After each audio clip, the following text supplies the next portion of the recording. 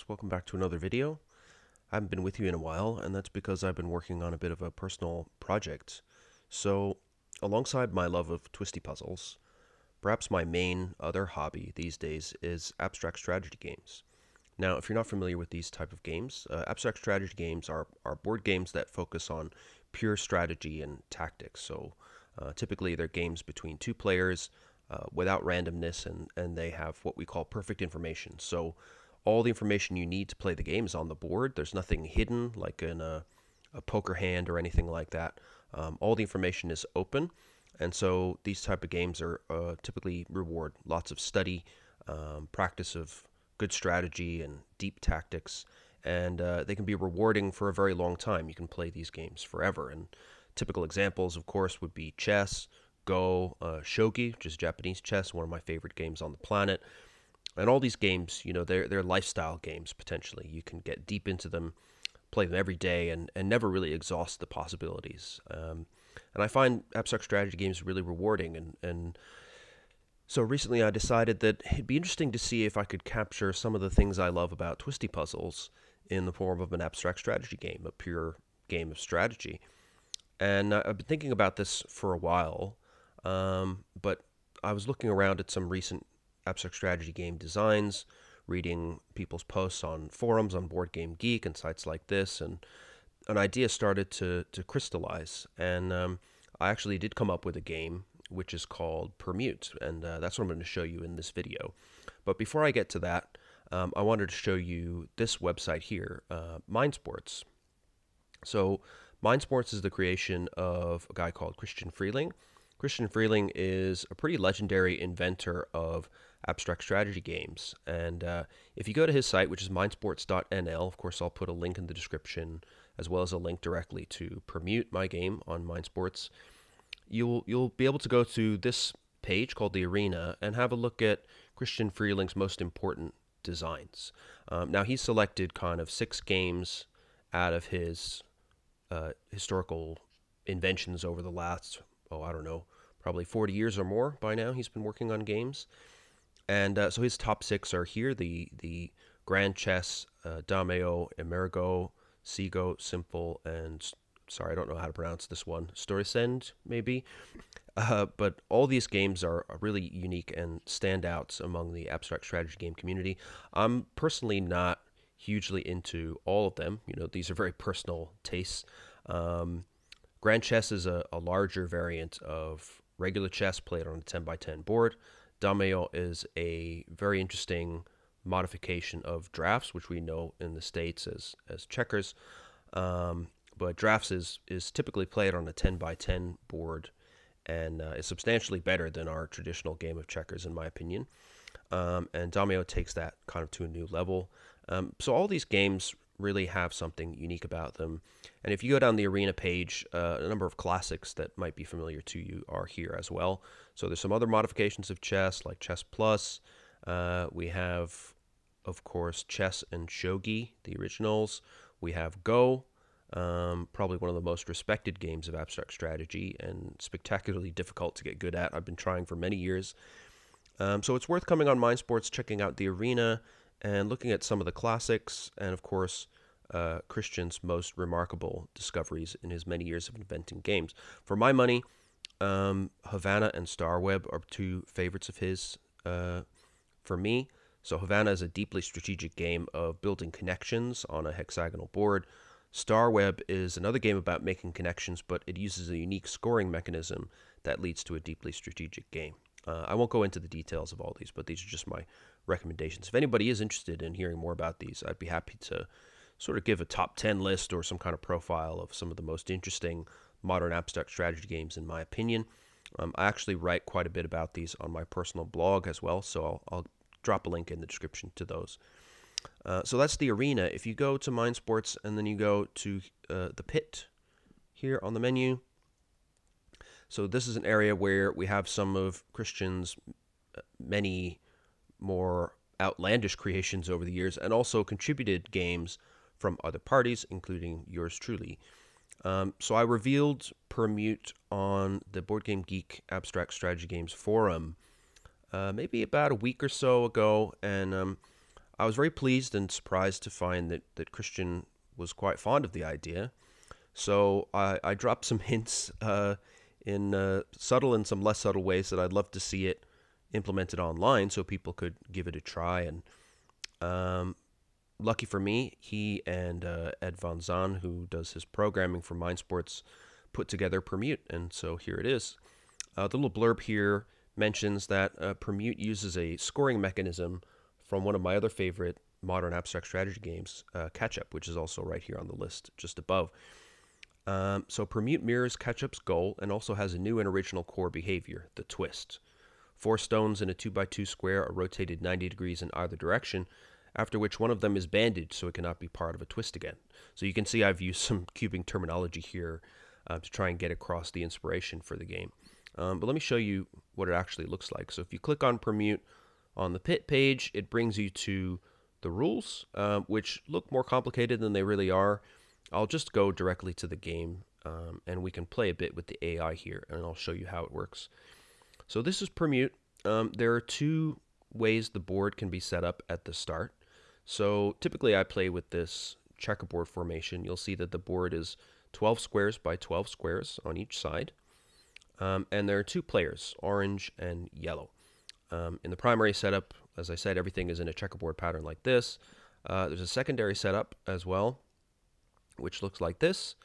Um, in either case, you know, the pieces of the two players are evenly mixed up at the start.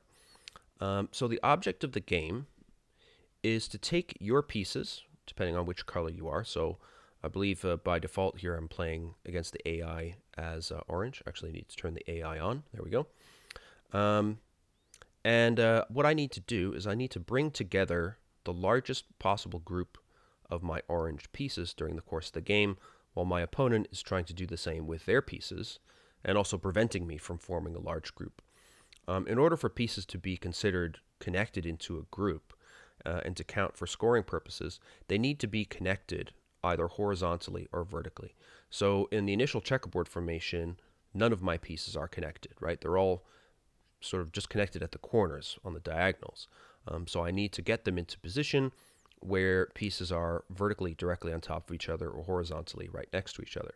And the bigger the connected chain of pieces I can make, the bigger my score. And at the end of the game, uh, what we do is we compare the largest group of my colored pieces to my opponent's largest colored uh, group of their colored pieces, and the largest group wins the game. So it's kind of a game of territory. I need to control enough of the board so that I can bring together pieces of my color and hopefully do so more efficiently and more effectively than my opponent. Um, the scoring me mechanism is drawn from a game called Catchup, which introduced this idea of what's called recurs recursive group scoring. Uh, what this means is that basically, uh, if you if, if my opponent and I get the same sized largest group of our pieces, then we move down a notch in the hierarchy and we look at our second largest groups for each of us, and whoever has the largest group out of those two will then be the winner. And if the second largest groups are also the same size, then we go to the third, and then to the fourth, and so on, until eventually we find a winner. Now, since Permute here is being played on an even sided board, that means there's an even number of pieces for each player. So theoretically, I think it'd be possible to have the scores even all the way down um, and therefore get a draw. But in practice, uh, as you'll see, each move you make in the game is quite disruptive to the state of the board, um, and the game's pretty has some complexity to it. So I think it'd be quite unlikely in practice that you get many draws. But if I'm very fortunate and people take up the game seriously and study it, it may be possible that uh, very strong, evenly matched players might get a draw from time to time. But I don't think it's going to be a huge issue. Um, I'm also looking at some alternative board setups and sizes that may eliminate the, the possibility of a draw entirely. Um, but at the moment, I don't think it's it's going to be a huge issue. So uh, in order to put my groups together, uh, what we do as players in Permute is we perform twisting moves. So let's just, uh, I'm not going to try and play too seriously here while I'm talking, but I can show you how it works. So as you'll see, when I mouse over one of the vertices on my grid of pieces here, suddenly a little arrow pops up. And here we have an arrow going around clockwise. If I do uh, scroll down or up on my mouse wheel, I can swap the direction of that arrow. And that's indicating to me that I can do a twist of this two by two chunk of pieces around that vertex, right? So let's just do a twisting move like so. And you can see now these two by two pieces have rotated 90 degrees to the right, and that's changed the position of, of all these pieces such that now I do have some connected pieces here, right? I've got three oranges here and three oranges here where I didn't have anything connected before, uh, but that's also done the same for my opponent. And that's the core trade-off of playing Permute, is that moves that help me may also help my opponent, and I have to keep that in mind um, as I try to build up my groups across the board. Now in each move, after I do a twist, I need to pick one of my colored pieces to be bandaged. Okay, so you can see there's a little circle that comes up under my mouse cursor, and that's telling me that I can bandage one of these two pieces out of those that I just twisted. Um, so let's just, uh, for the sake of argument, we'll, we'll bandage that one. So what that indicates is that now that piece that's been bandaged is fixed in place. And from that point on, uh, I cannot make any twists on the board that involve that piece. So I've effectively locked off a chunk of the board uh, around this piece. I can still twist here, as you can see, the arrow still comes up. Uh, I can twist here, all around it, but that piece is now locked. And as you continue to play the game, um, and each player is doing the same sequence. So on, on your turn, you do one twist, and then you bandage a piece from that 2 by 2 face that you just twisted. Um, the board will get slowly more and more constricted, and eventually you won't be able to make any more twists at all. Um, when that happens, that's the end of the game, and then you total up the scores of who has the largest group. So really, the game is pretty simple. Twist, bandage, try to build more stuff. Um, the player who builds the most stuff will will win. Um, but within that, you'll find that there's quite an interesting strategic dilemma here. You know, as I mentioned, each time you twist, you're helping yourself and your opponent. So my AI opponent here did a, their twist and then bandage down here, and they've done resulted in a similar configuration to what we saw with my move, right? Three uh, of my pieces have also been joined up along with two groups of three of their pieces. Um, so right now we're we're even. Nobody's come out with an advantage here yet. Um, so if I were to to try and respond here, maybe I'd want to uh, twist something of my own to try and block off yellow's effort to build more pieces and give myself a little bit of growth here. So again, I'm not going to be playing seriously here, but let's just engage the AI in a bit of battle here. So if I twist clockwise, this face here, now I've connected a group of six right here, as you can see. Um, and fortunately, that move doesn't give an equal sized group to my opponent. So the score right now is us with the largest group of six here, and the AI having a group of four just below. Um, now, in order to preserve what I've just done, I need to choose which of these two pieces I'm going to bandage uh, to try and protect this group that I've just created. So let's say we'll bandage that corner there. Now the AI is going to take a moment to think and see he's already getting into the attack here. So he's split off uh, two of the pieces from that group of six, and now he's built himself a group of seven um, and left me stranded over on the side here. But that's okay. Um, you know, we're just doing this to as a demo, so I'm not going to get too worried about it just right now. Um, let's see. If I twist this one clockwise, that'll hopefully keep yellow a bit hemmed in on this side, but uh, let's just give that a go. Um, so I have, there are three of my colored pieces in this 2x2 that I just twisted, and I have a choice which one to bandage. Now, if I put the bandage here, in any case, this is fairly precarious, right? The AI could choose to be highly annoying um, and continue to disrupt my efforts, but uh, that's part of the challenge of, of the game is we need to try and make progress while ultimately the groups that we're building up are not that secure, right? Each bandaging move that I do after a twist only locks one piece in place. So it's quite possible for our opponent to do some serious damage to everything that we try to do, essentially.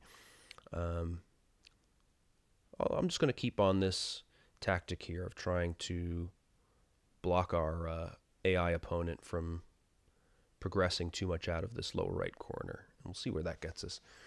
Um, so as I said, I was I was very lucky, uh, very happy to see that Christian Freeling was was willing to take the time to implement Permute and put it on the MindSports website. I've seen as well uh, a couple of people on the Board Game Geek forums have gone ahead and given the game a try, which is great.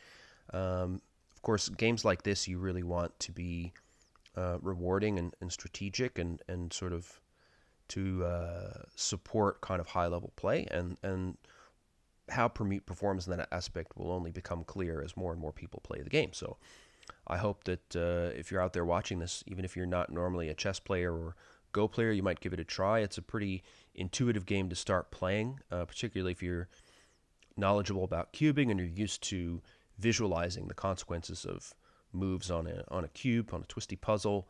Then I think you'd you'd find the game quite intuitive to start learning. Um, so you know, and it's free. So if you go on MindSports uh, to the link in the description, you can just go ahead and, and start twisting stuff and see how you get on with it. Um, yeah, again, I'm not going to think too too seriously. Uh, I'm just going to try and show you how the game progresses here. Um, the AI will probably embarrass me. it's you know it's difficult to play a game that relies so much on your mental facilities when you're uh, focused on on chatting here. But uh, yeah, I mean, I would say typically a game on the 12 by 12 board lasts about 50 turns or so.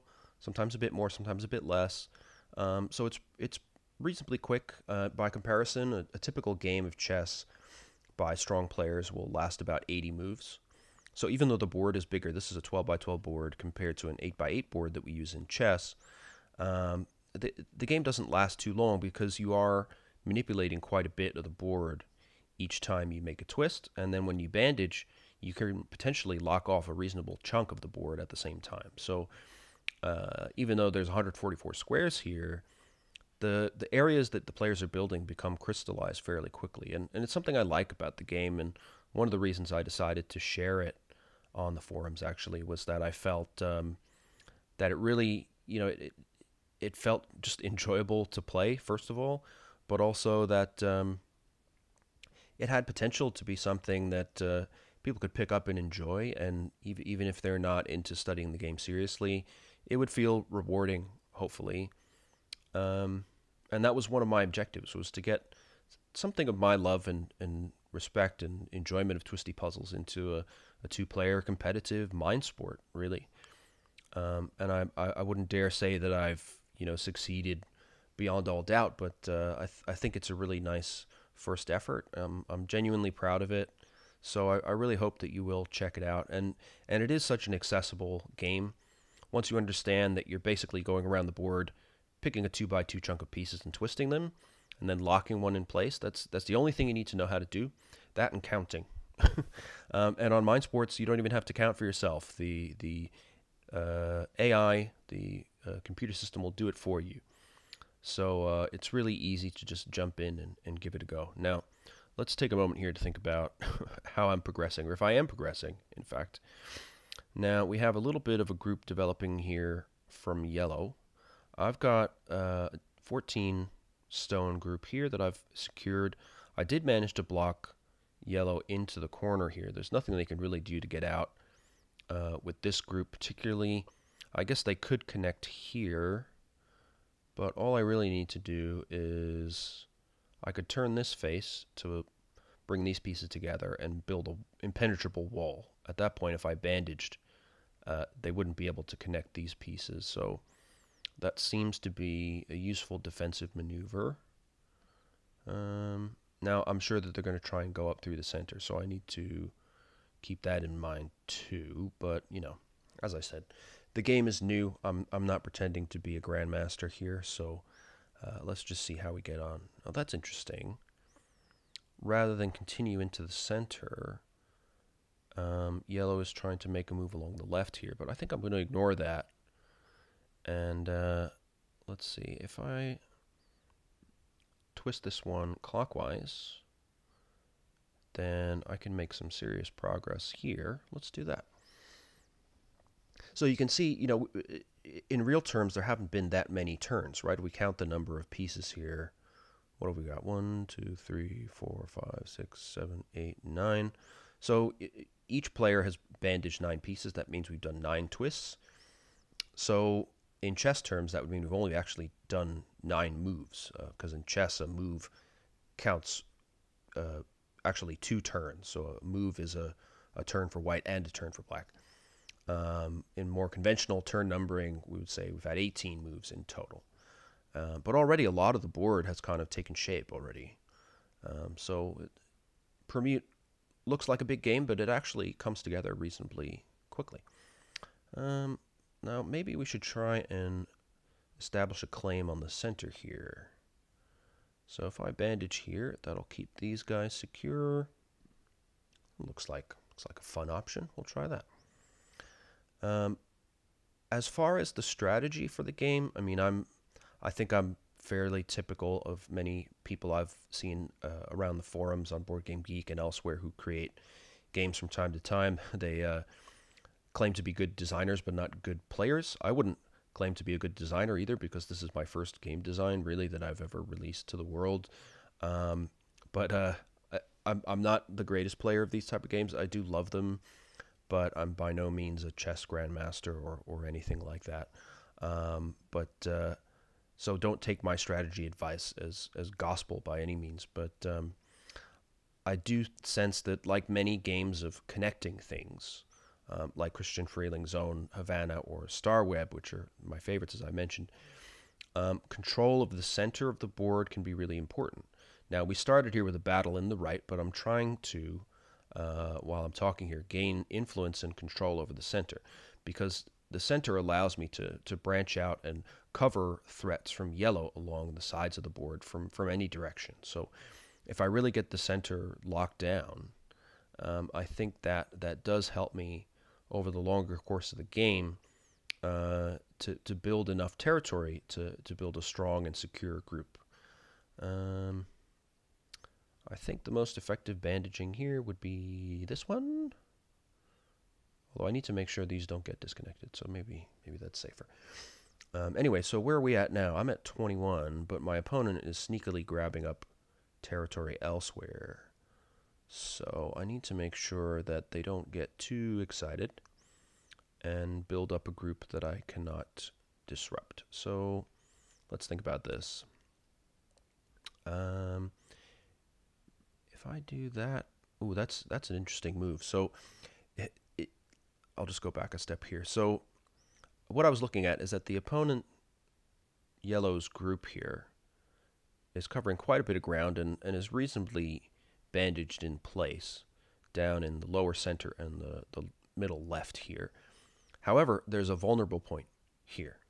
Um, if I actually sacrifice this piece from being connected to my main group, by, by turning this face here, I can actually disconnect the top and bottom half of, of their group that they're building and uh, significantly change the dynamic of play here. So I think I'm gonna I'm gonna do that.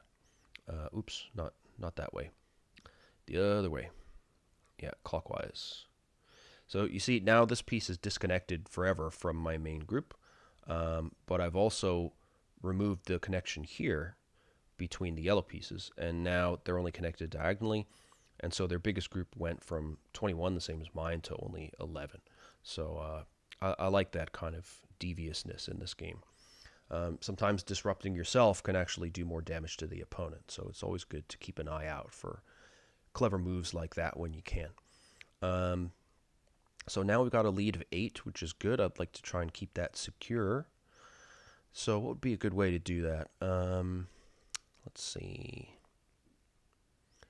I think maybe turning this way clockwise and then locking this bad boy in place would be helpful, wouldn't it? Uh, so that would give them two more pieces on this group, but again, we've disconnected the top and bottom halves. So if they want to make progress on our big numbers here, they'll need to do some damage on this part of the board. Um, but if they can't connect this part, that will be helpful in the long run. All right, computer, what do you got for me? Let's see. Yep, as predicted, they are trying to get something going on the top half of the board where we haven't yet really uh, got into battle yet. Um, let's think about this. Now, what I should be doing, besides just worrying about disrupting their operations, is I, I need to make sure that my own groups are taking shape uh, and being protected. So if I, again, I could just ignore these moves over here and try to continue to build this group up. If I think if I keep building up towards their new base of operations here, say I bring that piece down, bandage it. Um, yeah, let's let's just try it. You know, I'm I'm I'm hoping the AI will uh, school me here and there and help me to to really learn how to play the game effectively. Ooh, that was ooh that hurts. Oh, that's that's rough, guys. um, so now they've they've knocked down my lead a bit here. But uh, let's see how we can respond. If I counterclockwise twist, does that help me? Not particularly. Uh, what about clockwise? Yeah, I mean, this part now is disconnected. Let's see what happens. Uh, I'm in, in the full spirit of experimentation here. The game is still developing. Uh, I think there's lots of room to, to better understand strategy and how it all comes together. I think also, you know, because of the scoring system, where if we tie in our largest group, the scoring then checks our second and third and so on down the line. It's important to bear in mind that you need to have strong secondary, maybe even tertiary groups. Um, so while I'm building something big and impressive, I need to bear in mind that my opponent might catch up eventually, and then my only hope would be to have a secondary group that stands up to scrutiny, if you like. So I'm trying to keep that in mind a little bit. I think 1, 2, 3, 4, 5, 6, 7, 8, 9, 10, 11 here. That's pretty decent size secondary group. Um, it is vulnerable here, though, and I could expand it a bit down here, but I think ultimately I could secure a decent victory here if I can just make sure my wily computer opponent can't make serious progress on the top. So if I cut across this way, um, yeah, let's try that. So the question of this game of Permute will be how effective it was to try and grab this early lead. Um, again, I wasn't thinking particularly deeply uh, at the start of the game. I just want to demonstrate how this all works. Oh, okay, that's interesting. Suddenly we're very close. How is that happening? Um, so their largest group is 17. So that is down here, isn't it? But if I just cut that off, yeah, that would that would work. But what's the most effective way of disruption? If I do this,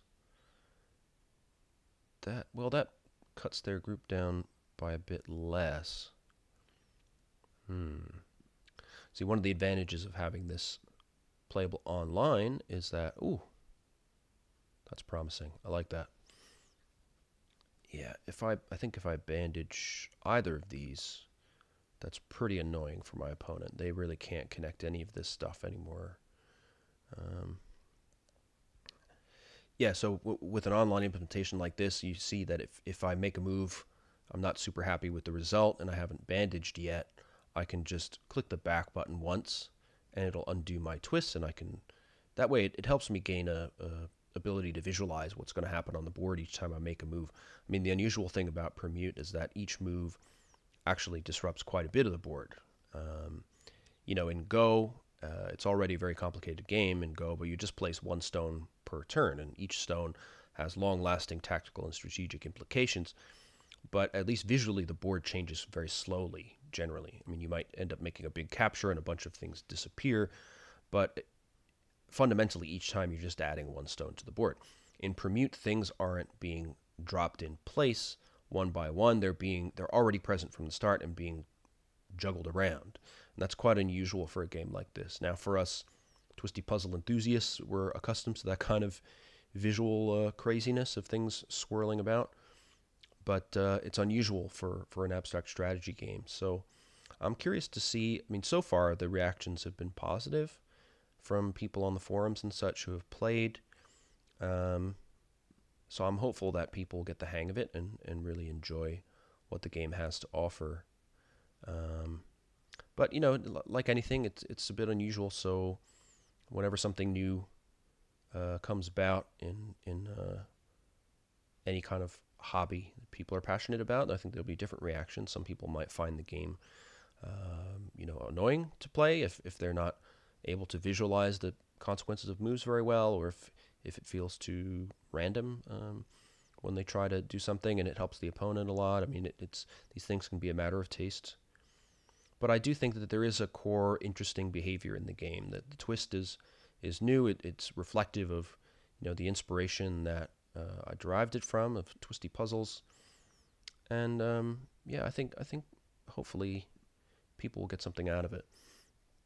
So what I did there was I just tried to lock down a few more pieces in this large group down on the bottom right. Um, the opponent here seems to be focusing mainly on the top region of the board. So uh, what's, what's what's the most annoying thing I could do here? That, that looks pretty annoying. Yeah, so that basically locks off these pieces in the corner. We'll do that. So I think we're getting down to the end game here. So because of the nature of the game, how it works, um, the board becomes more constricted as you play, and it gradually becomes harder to find faces that you can twist, and, and the final position starts to crystallize a little bit. Um, so what we want to do is make sure that we prevent our illustrious opponent from really being able to make significant progress and, and catch up at the last minute. I think I think we're going to be okay. Um, this actually looks like a pretty decent secondary group up here. Uh, yeah, it's not connected to this main body of pieces that we have here because it's only connected diagonally and not orthogonally, not in other words horizontally or vertically. But uh, if scoring comes down to the secondary group, we might be might be in a good position. Um, so where are they going to bandage? Okay, not too bad. Um, all right, that might be. Well, there'll be, I think, a couple of corner moves left to make, but yeah, we're almost at the end here. All right, AI, what you got for me? Not much is the answer to that question. Um, all right, we're going to play around in the corner, I'll just... Uh, now, one thing to note is that you can, of course, have faces that end up being like the solved face of a 2x2. In other words, all the same color. You, but you can't twist those in permute. Um, every move that you make has to change something. And if you if you just rotate around a face that's already one color, there's nothing you can do to really affect the board state at all. Um, so the, part of the rules is that every turn you have to do something, and in that respect, the game is reminiscent of something like chess, where you have uh, what the Germans call a compulsion to move.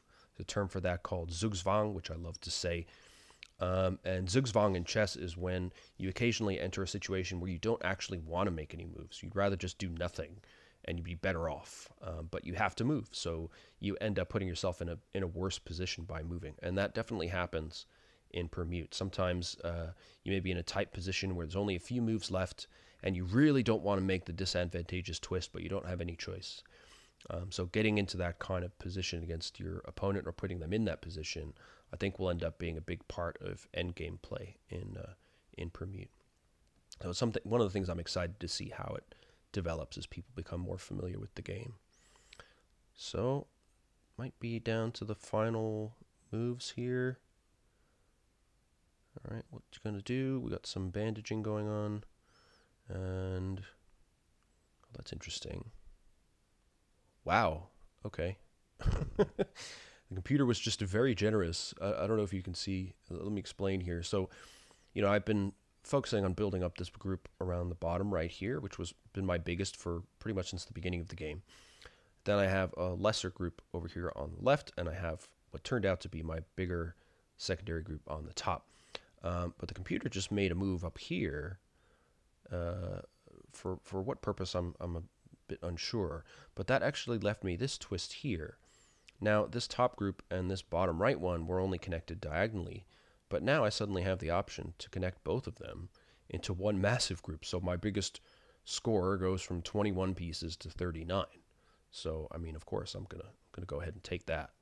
Uh, wow. Okay, that was a howler of a blunder, as we would say in the chess world. Um, yeah, I mean, oh, and there we go. So uh, you can see the little dialog box on the top here. Yellow has officially lost. Yeah, so that is a sample game of Permute. Um, my game, lovingly inspired by the world of twisty puzzles. Um, so this game is all about building these groups of your pieces. They have to be connected horizontally or vertically.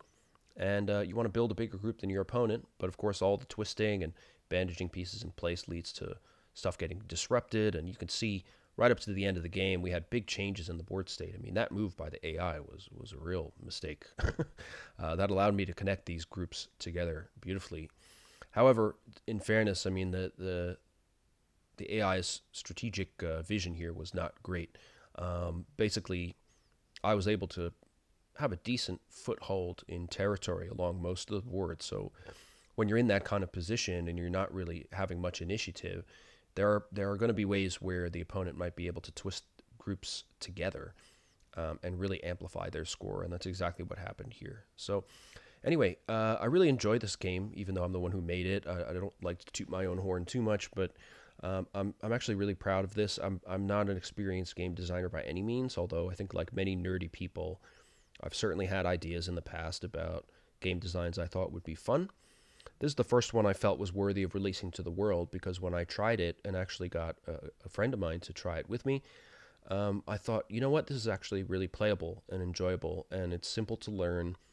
Um, but the core strategic dilemma is actually really fun uh, and interesting, I think.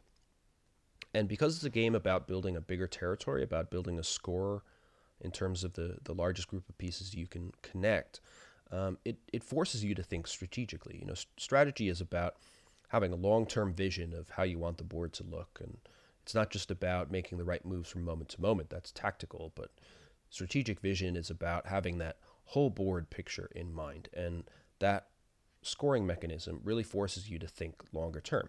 How am I going to twist things into place and uh, you know, what part of the board can I exert control over and block off the opponent, give myself room to build. So it, it just felt like a really good marriage of the core twisting mechanic and a scoring mechanism, which I said was taken from the game Catchup.